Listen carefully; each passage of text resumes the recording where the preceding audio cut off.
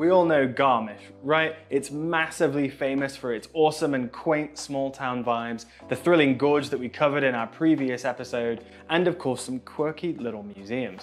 But is it the best place to go to get those things? Well, that I don't know. You see, just 20 minutes down the road is the awesome town of Mittenwald, complete with those same trappings. But which one should you go to? Well, come with us today because that's what we're going to figure out when we put Garmisch's crown to the test by pitting it head to head against Mittenwald. Let's go. Okay, so we're going to start in the Munich Hauptbahnhof, like always, and decently early, as the train ride takes about an hour and 50 minutes, and we're going to want plenty of time to get to know the town to thoroughly compare it to Garmisch-Partenkirchen. Already off to an awkward start though, because it is going to be 20 minutes longer on that train there and back, so 40 minutes total, and the trains run a little bit less often, though the route itself isn't confusing or complicated. Simply just take an RB train in the direction of Mittenwald. My recommendation being probably the one at 9.32. That's what I'm going to take. They leave leave every hour at the half past, but they do skip some, so always check your timetables. Then sit back, watch a movie, or read a book, because we're going to be on this bad boy for a little while until the end of the line in Mittenwald.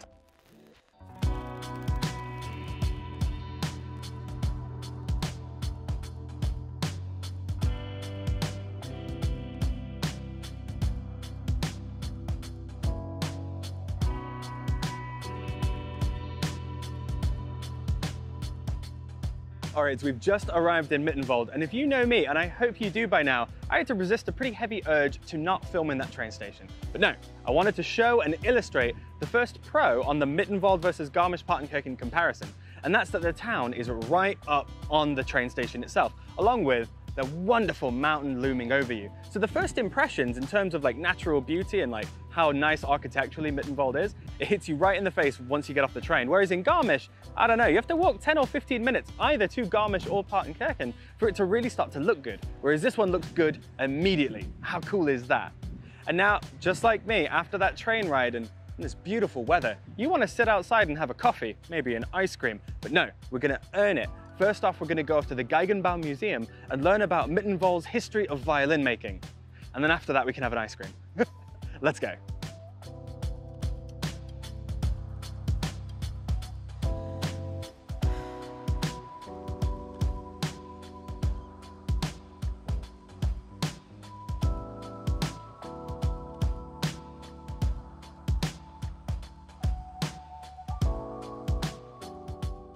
First up today, we're checking out the Geigenbau Museum, or in English, the Violin Making Museum, which as I'm sure as you can guess, it's going to be dedicated to the craft of violin making and its development here in Mittenwald. You see, Mittenwald was situated, well, almost perfectly for the distribution of goods between Lower Germany and Northern Italy. Under these fortuitous conditions, enter our hero for the day, Matthias Klotz, the man credited with establishing the tradition of violin making right here. Records are unclear, but it seems like Klotz moved to Italy sometime during his teens to apprentice originally as a lute maker, and after his apprenticeship, Klotz moved back north to Mittenwald to build his lutes. Then the town of Mittenwald proved useful once again. Not only perfectly positioned on the major trade route, but there was no lute makers guild to harsh Matthias's vibes. Though as the lute's popularity waned in the late 17th century, pivoted to violin making. Scholars assume that he'd been making and selling violins well throughout the late 1600s, but he hadn't been putting his name on them. And it wouldn't be until 1704 that he took his stamp out and really claimed the violin as his own. By 1760, violins were in such high demand all over Europe, the Klotz had fully expanded and trained up another 11 violin makers in total, all here in Mittenwald. That's too many if you ask me. And from there, it would just continue to grow. And as the market kept increasing, you would see his well-trained luthiers cast out all over Europe, bringing the traditions of Mittenwald everywhere they went. Pretty cool, huh? And so if you want to visit, well, this adorable exhibition is situated just off the main strip in a beautiful little courtyard. And it's a fantastic way to check out all of these amazing historical instruments and anomalies. Not to mention at 5 euros 50 per adult, it's an easy recommendation. The history is fascinating, the collection both impressive and selectively curated to make sure it's not too overwhelming. Man, this museum is just simply a must do in my books.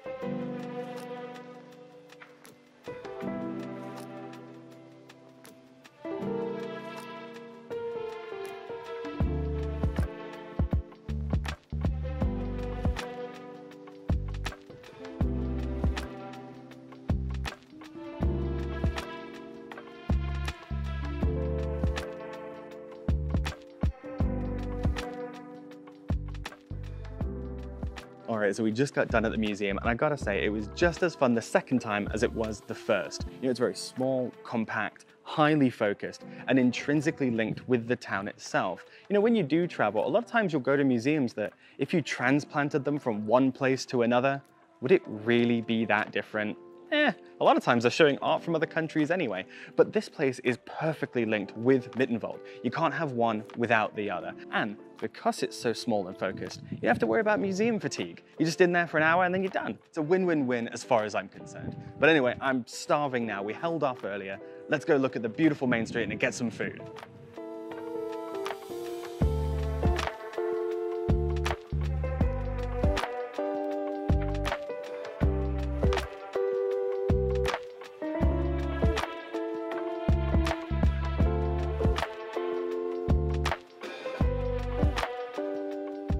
So the town centre itself has numerous cafes with copious outdoor seating. And even though, you know, it's kind of the most obvious spot, I do still highly recommend sitting outside here to enjoy the atmosphere. And let's be honest, this quaint town centre has some brilliant vibes. You don't want to miss them. However, there isn't really a lot in terms of really good food. And I'm not trying to be mean or anything, but it's just nothing that I would recommend emphatically, you know what I mean? It's not bad, it's just not amazing. And it can get a little pricey, you know, you are going to be paying for those vibes. Keeping that in mind, mind, my recommendation is that you just go for a coffee and perhaps an ice cream. It's a great way to get the vibes while not spending an arm and a leg. My personal favorite is towards the end of the main road, Cafe Bozner. They have an insane ice cream selection that just won't disappoint you or break the bank, especially if you share one of their bigger ice creams. If you are hungry though, and ice cream won't satisfy, which is an emotion I simply just can't relate to, head a little bit of ways out of town towards the Mittenwald Brewery. They produce their own beer in-house and ship it all over the area, and it's got a pretty good modern fair going on. So now we've fully experienced the museum, main streets, and pretty much all the town has to offer, how does it compare to Garmisch-Partenkirchen? Well, most obviously, Mittenwald is a lot smaller, but not to its detriment. I've actually found that the quality is condensed and not lost. Plus, in my opinion, the overall landscaping, it's a little nicer. Both towns boast a quirky museum linked to their unique interests as well. Mittenwald, of course, with its violins, and Garmisch with porcelain puppetry. So, you know, I'll call them equal, but my personal bias is towards the violin museum. Your mileage might vary.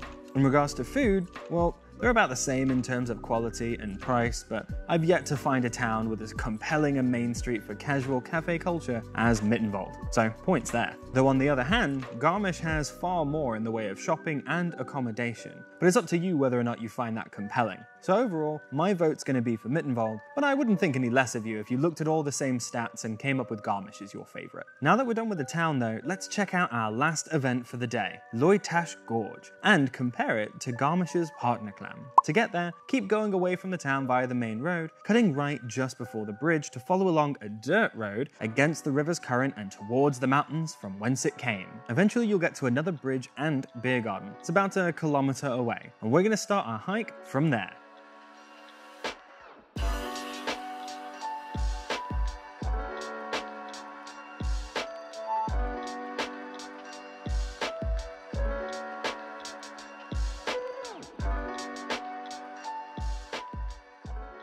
With the ice cream snack taken care of and the walk out here done, you might notice this sign behind me. It's hard to miss, I put it there on purpose, but you also might recognize it. And that's if you've watched my Almabtrieb video from God, nigh on a year ago now, we came here to experience the spirit of the mountain in between the cow festival that we were going to.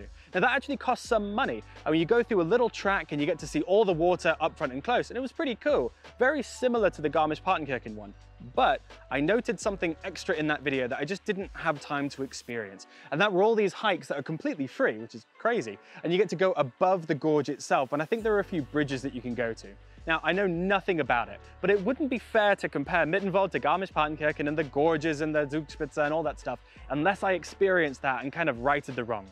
So I didn't look anything up. I mean, I knew I was gonna do it, so we're gonna go in blind. So come with me now and we go experience the spirit of the mountain for a second time and see if it's any good or if it's any better. Let's go.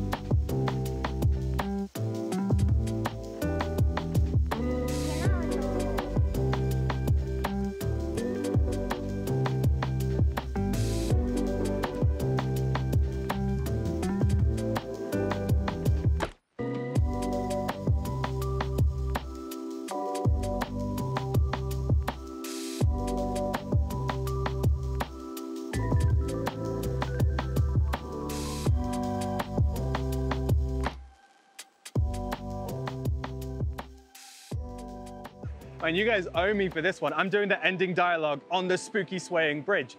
Ugh, it's really not my cup of tea. I mean, maybe for some people out there, you love this stuff. It scares the crap out of me. I mean, when I realized that the grates were gonna be see-through for like two odd kilometers, I almost turned around. And, uh, but now that I've done that, I'm ready to tell you kind of my official opinion. And in all my travels, this is the exact kind of thing I would expect to pay for. If they were charging me 15 euros at the gate for this, I'd probably pay it. Like it's really, really good, but it's completely free. So that's a huge win in my book. And other than that, it's just so well maintained and the views that you get, just they're so wonderful. Anyway, I couldn't rave about this any higher. So is it better than Garmisch-Partenkirchen's Partnachklamm Gorge? Well, yeah, I'd probably say so. I mean, if you're really looking for that beginner Alm experience that I talked about in my Beneath the Mountains video, which if you haven't watched, I really hope you do, you know, that Alm experience is probably gonna be better near Garmisch, to be honest with you. I think it was. But if you've done that like I have a few times and you're ready for something a bit different, or you're a thrill seeker who just love those bloody see-through grates, then this is gonna be for you. And it's just so easy to recommend when these things are free, right? You just can't go wrong. And there's a bunch more trails. You can continue out for hours and hours. So I think for the right type of person, this is definitely better. And that type of person might just be me. Anyway, if you've really liked this kind of direct comparison between Garmisch and Mittenwald, then please like and subscribe right now because I have to go to sleep soon so I can wake up early in the morning and ascend the Karwendel mountain, where I'm gonna figure out if it's better than the Zugspitze, which is a little bit of heresy because that's kind of my most popular video. Hopefully people don't get too mad. But for now, I need to finish off this hike. There's still a bit more left to do and I need to get to sleep early. So I'll see you in the conclusion where we answer officially, is Mittenwald better than Garmisch-Partenkirchen? Let's go. Hey everybody, we're back in Munich after our trip to Mittenwald. We were comparing that town to the town of Garmisch-Partenkirchen, and we were sort of focusing on three different points. We were talking about the local museums, the little town center, and then the gorges that you can hike to in both towns. Now, we sort of agree, you know, which one we, we, we like more, so I'm just gonna pass this over to Ben. What sure.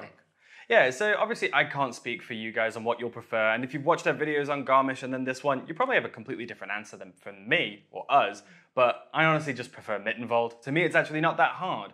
You see, the museums, call me biased, I think violin making and its history in Mittenwald is a little bit more interesting than ceramic puppetry and its influence on the region. I just think the Mittenwald Museum is a bit more local and a bit more historical in that regard. You know, you're kind of looking at his workshop, right, and kind of where it all happened. And I just think that's really cool. I mean, if you've watched my videos, you know I'm a bit of a sucker for living history museums, and this is almost one.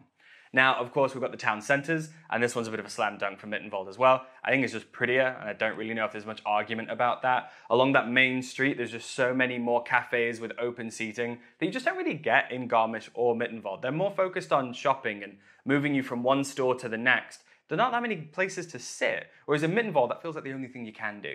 So if you're into that, which I am, you're going to prefer Mittenwald.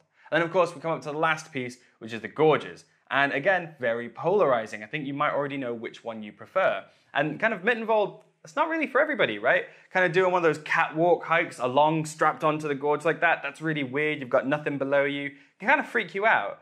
And that's why I like it more. It's kind of driving a hard line for what it wants to be, and it's not for everybody, but for the people who do love it, it's fantastic. And the fact that it's free, man, that just can't really be beat, can it? Whereas when you compare that to the Partnachklamm Gorge, it's kind of more of a generalist, right? It's more of a people pleaser. You've got a pretty good gorge, you've got a pretty good hike, you've got a pretty good Alm to go get a beer at, but you can get all those things in other places. So if you're not very choosy and you just kind of want all three, go to Garmisch. You'll have a great time. But if you're looking at this saying, oh, that's a unique experience that I want to have, I'll get beer later, then you've got to go for Mittenwald. And so that's kind of where I'm at. Yeah, so I think that was a pretty good summation. But the astute among you will, will be wondering, hmm, what about the two mountain peaks? There's the famous Zugspitze in Garmisch-Partenkirchen. Actually, our most popular video is a video about that. And then in Mittenwald, you have the Karwendelspitze. Well, if you're interested in that, please like, comment, and subscribe because our next video is going to be comparing those two peaks. And maybe it'll even change your opinion about which you feel more strongly about, Mittenwald or Garmisch-Partenkirchen. They're very different mountains. Mm -hmm. But that's about it for now, and we'll see you in the next video. Bye.